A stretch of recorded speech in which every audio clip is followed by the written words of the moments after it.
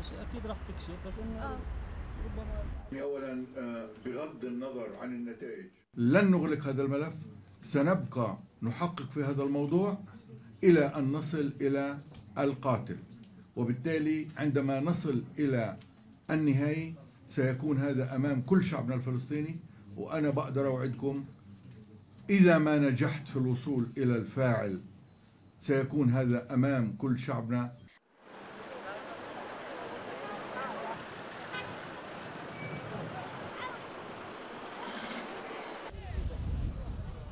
أنا كمواطن فلسطيني وكناشط شبابي مع الوصول إلى الحقيقة ولكن ما أراه في الشارع الفلسطيني ومن الشباب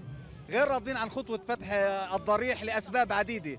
منها أن هذا الرمز وهذه القينونة كان له وصاة بأن يدفن في القدس وأن ينقل رثاته إلى القدس. إذا استدعت الأمور إلى ال- ال- حسب ال- الإفتاء الفلسطيني وحسب الشرع إذا استدعى أنهم يفتحوا هذا الجثمان هو أكيد طبعا هناك دليل واضح انه الإسرائيليين هم اللي اغتالوا ياسر عرفات. كما الآن ينوهوا باغتيال سيادة الرئيس محمود عباس من أجل عدم حصول على دولة فلسطينية ذات حدود وذات سيادة وذات دولة.